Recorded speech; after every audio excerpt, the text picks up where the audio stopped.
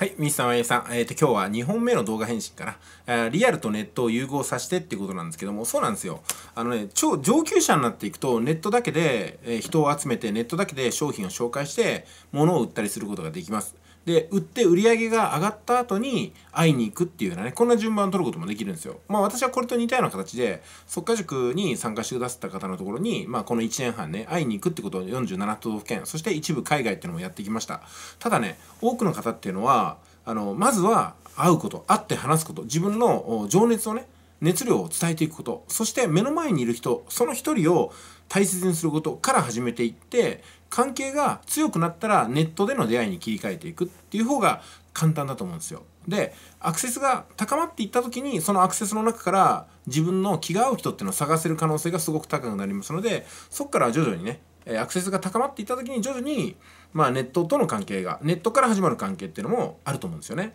でも考えてみてくださいね。あのミスターマイアミさんと私ってまだ会ったことないでしょ。でもこの強い関係できてるんですよ。すごいですよねだからネットでこういうふうにね関係作ることはミスターマイアミさんにもできますし私にも当然できますしそしてね西川クラスの山根さんにもできるかもしれませんその他のねゆっこさんとかね他の海老名のりっちゃんとかね他の YouTuber さんとかねできるんですよ。えー、ぜひやってみてください。そして中丸トレーダーとの関係もありますし最近でしたらねあのトレーダーのヨシックスさんとか、ね、こういった方がね本当にねあのミスターマイアミさんを中心にネットで始まった関係っていうのがもうできてるんですよっていうのはこれはね一つの現実です。でもこれはまあはばかりながらね即価塾というくくりの中でお互いが信用しやすい関係にあったから環境にあったからそして私のこのねアテンドがあったかってところもありますんでまだ全部自力ではないんですよね。でもミスターマイアミさんにこれがねもうすでに私のやり方っていうのが見えてますよね。体験してますよね。だからこれをね近い将来自分でもこれをやっていくんだっていう風なそういう風なあ気持ちでねマインドでね今一番最初は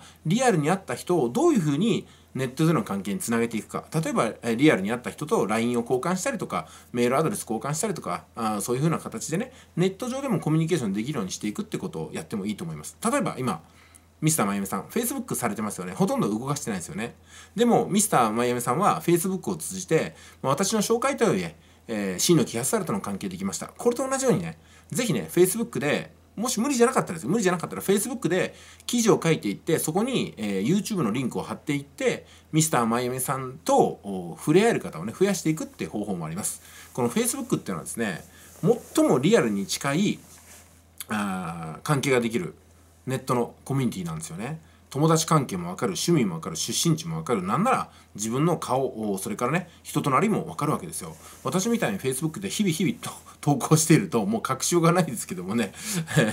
まあでもねあのミスターまゆみさんあの自分の順番でやってください。えー、でこの順番はどうかなと思いましたら私も返事をさせてもらいますし試してみてダメだったら別の方法でやってみる。この繰り返しだと思います。これをねちょっとかっこいい言葉で言うとテストマーケティングっていうんですよね。ちょっとやってみて反応を見るみたいな感じでございます、えー、今ならねミスターマヤミさん YouTube で視聴者さんに問いかけてみてください、うん、何かをね。問いかけてみると何か返事があるかもしれません。今度私にやってほしい企画はありませんか？みたいなのね以前はやって反応がなかったと思いますけどもそこでね、えー、やるとかうん募集してみたらどうかなと思います。特に今ミスターマイアミさんっていうのはマイアミにいるわけですからマイアミのこういうのを教えてくださいっていうようなリクエストがあったら答えやすいと思うんですよ。プラスですねこれから日本に来る時に今同僚の方とかっていうのは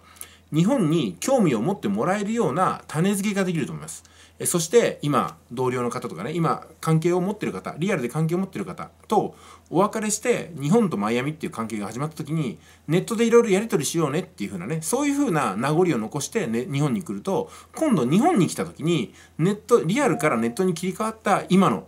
リアルで知り合った人たちの関係が今度はネットで続くってことになると思うんですよ。そっからですね、ミスターマイミさんに次のドラマが始まるんじゃないかなと思います。まあ本当にね、長くなりましたけども、こんな形で、えー、リアルとネットの関係、いろいろとね、試して作ってみてはいかがでしょうか。それでは本日は以上です。